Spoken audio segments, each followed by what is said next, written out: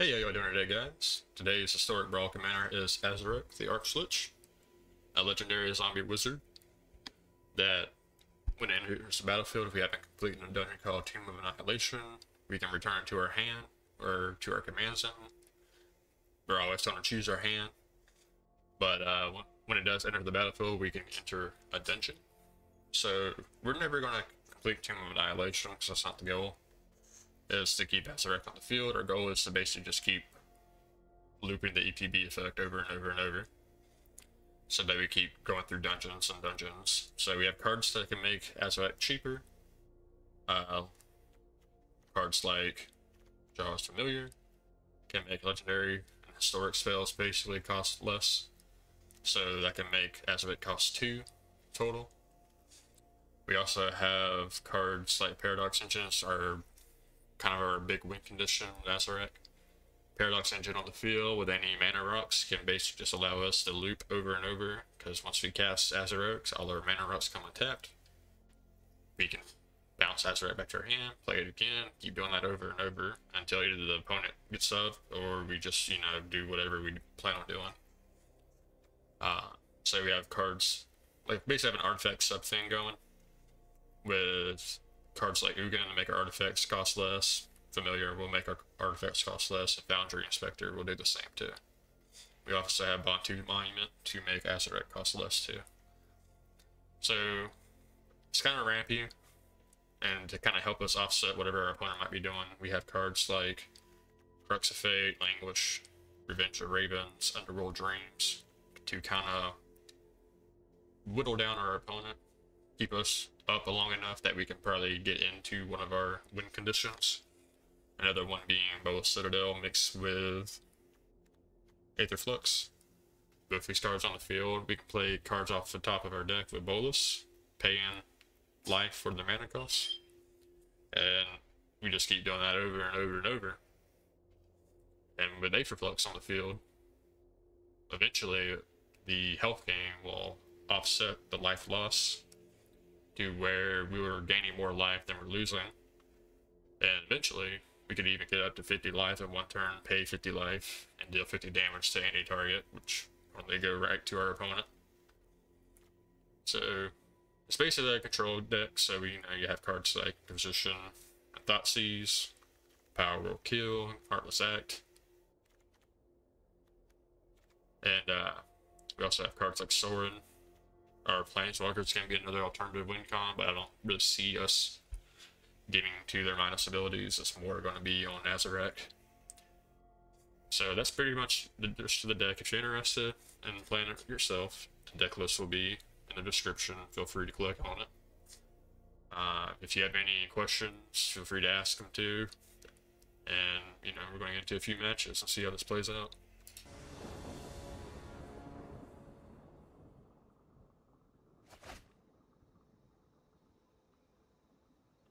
So we are going up against the first sliver. So board wipes will be good here. Here's Downfall, it's good to see. Mystic Forge and Panharmonicon is also. We have Extinction Event, so I think we'll keep this, even though we don't have like anything else really. I haven't played this deck too many times, so maybe we actually want to have more mana rocks in our hand. But I think we can survive.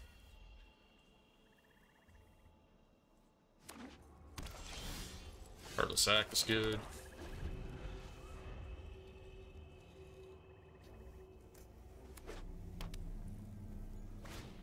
Replicant rings, good for them. So next turn they're probably gonna play the first sliver.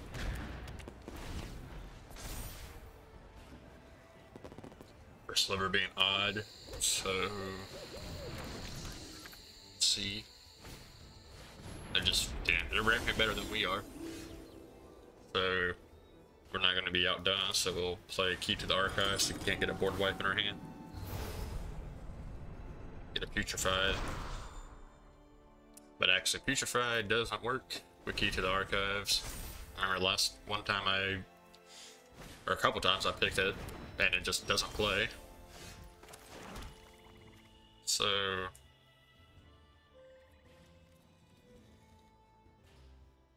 play out Aether Flux. Keep up cards like Heartless Act and whatnot.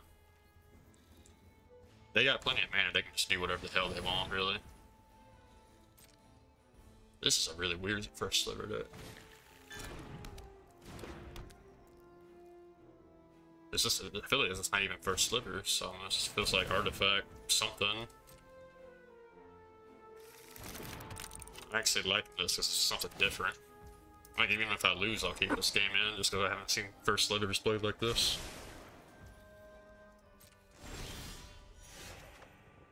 So, let's see what we want to do. I think we'll go for Mystic Forge. Nothing off the top. So... Geez, Thirst ain't gonna do it.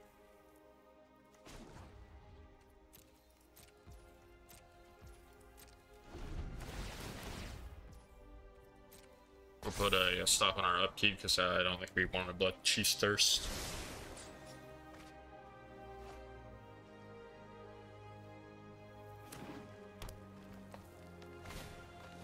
There's Sliver coming through.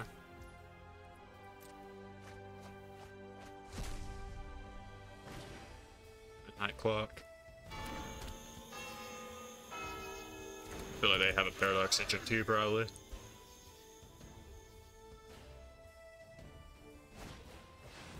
Mythos to copy.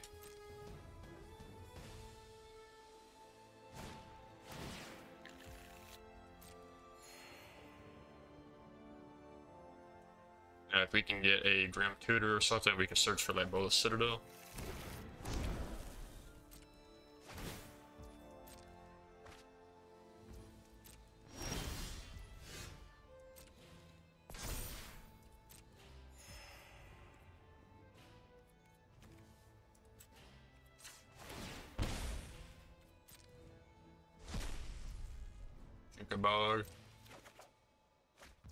There's a Bolas Citadel.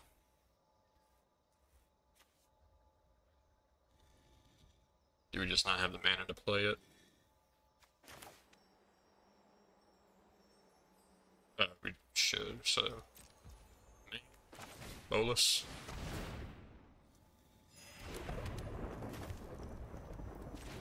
Yeah, three mana. Aether Flux.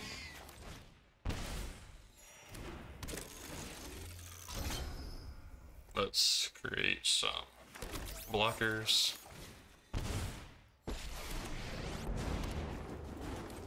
Let's Sorin. Consider yourself fortunate our motives We'll draw a card. Bolas Citadel. Draw the Sorin.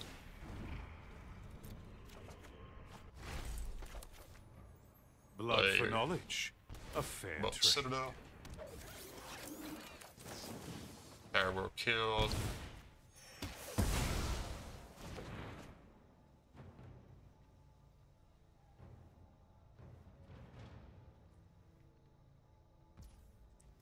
Play out Azure.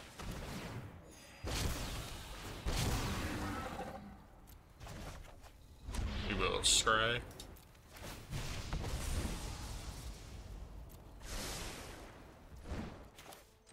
Girl.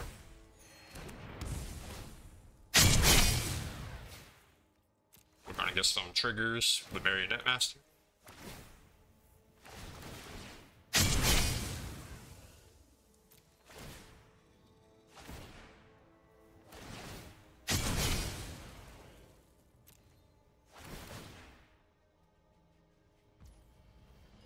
And we'll play Heartless Act. Target our own Massacre Girl. Gain 11 life. Pay 50. And that's game.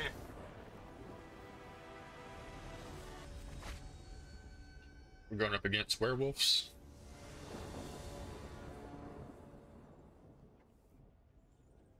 I think we keep this. Board wife will be good. Thoughtseize turn one is always fun. For us. Uh, Embercleave can be an issue. Get rid of that now.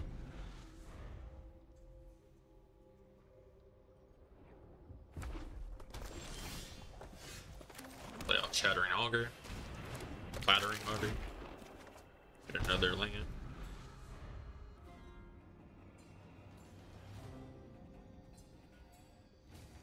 Really wanted to get off Acererak's loop effect if we can.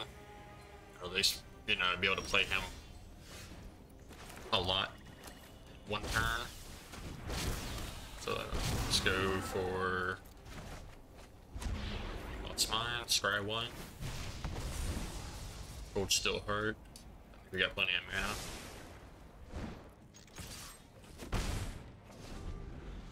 I guess we could have played that in Bojuka Bog.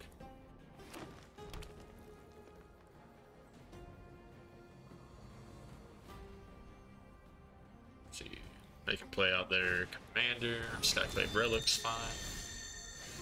And we get a Mind Stone either way.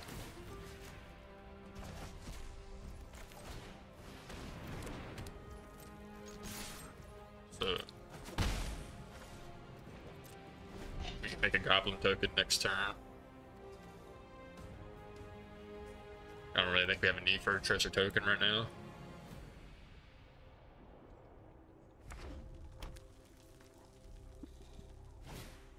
Key to the archives, good for them. they get a putrefied, that'd be kind of rough.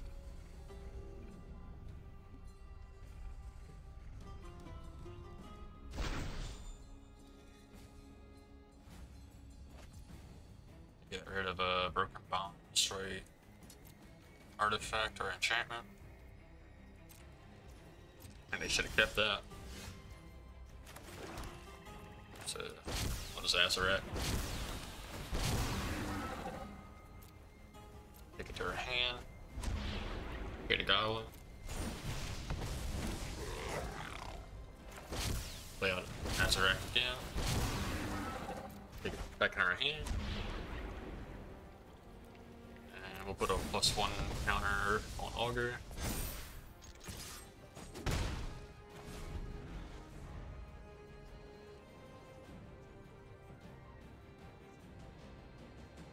Done with the dungeon here. Got Heartless Act to get rid of some of the creatures or Crux of Fate if we really need to.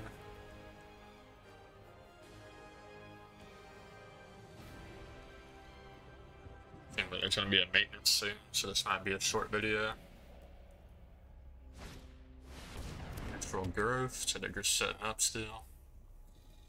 It's all fine with us. Rise of the Dark Realms, very good. So, take it to her hand. Draw a card. Uh, a Junji. Back to her hand this time. Let's go through the dungeon, the Mad Mage.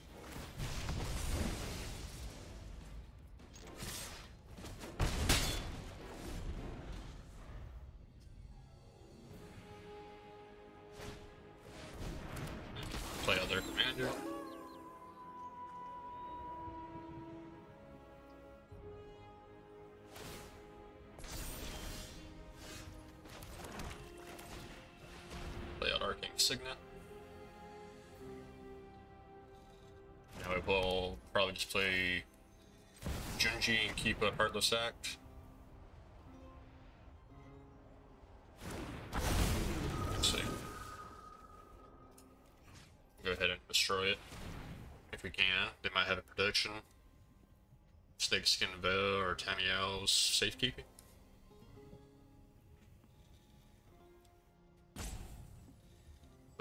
Through, we can. Yep. So that's fine. We can also board wipe and.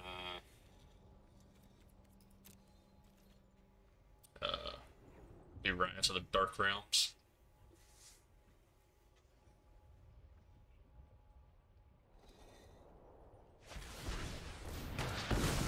Frozen Grip, it's fine. Still have plenty of mana. Granted, now we can't rise to the Dark rail.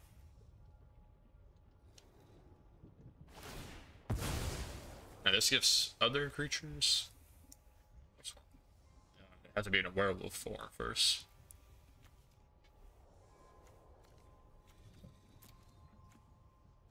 Creatures on either graveyard, so I can't pull from something for the.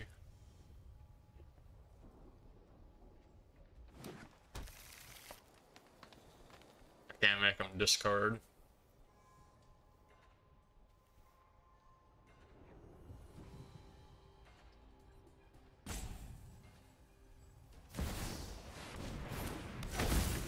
They are a buck.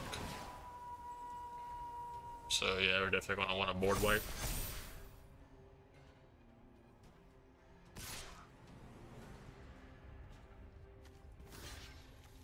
What did these do?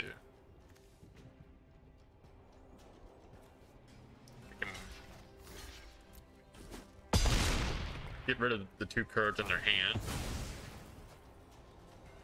Make them, then we can board wipe.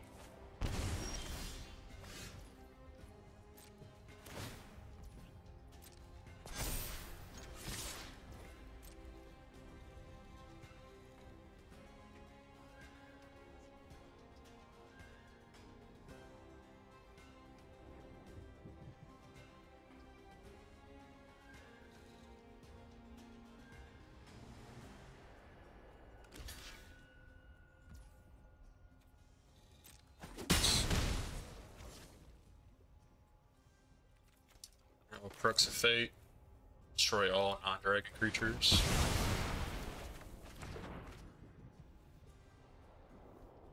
And we can get a scribe with Archlich.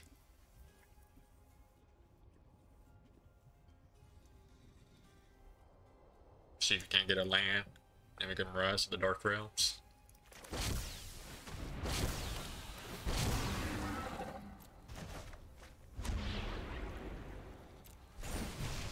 Be land.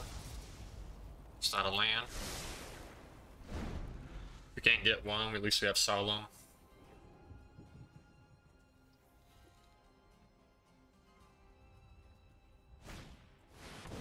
Play out the commander. Play out Chromatic Lantern. There's a land. So Rise of the Dark Realms. Card. Wolf. You got your next Wolf of Werewolf spell, so none of these really do anything. Oh, what? We do have a werewolf now we think about it.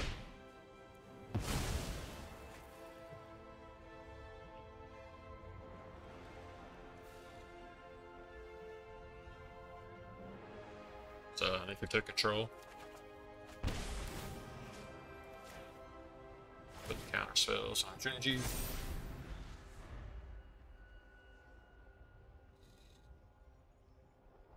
Now, Let's see, we can play Solemn, get a land, and then we can just keep on looping Acererak.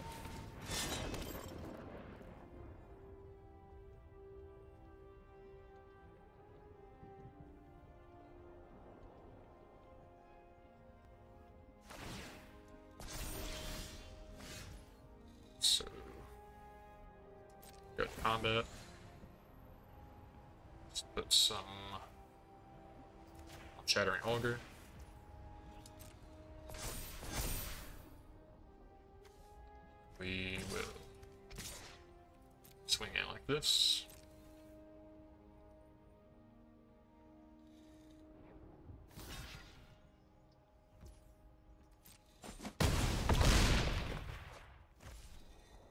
Play.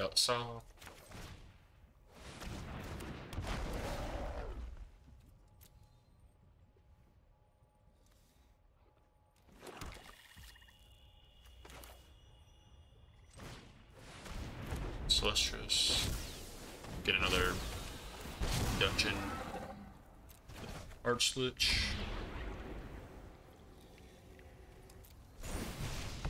Make it so that they can't attack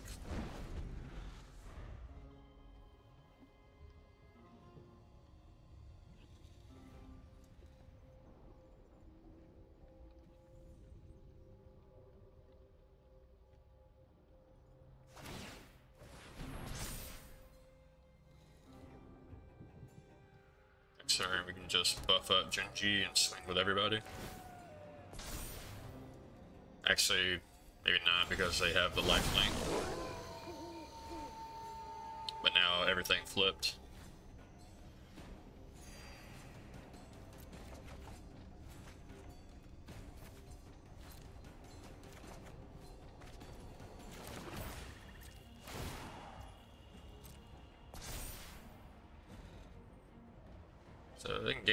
Life here. Or we can just swing him a Junji.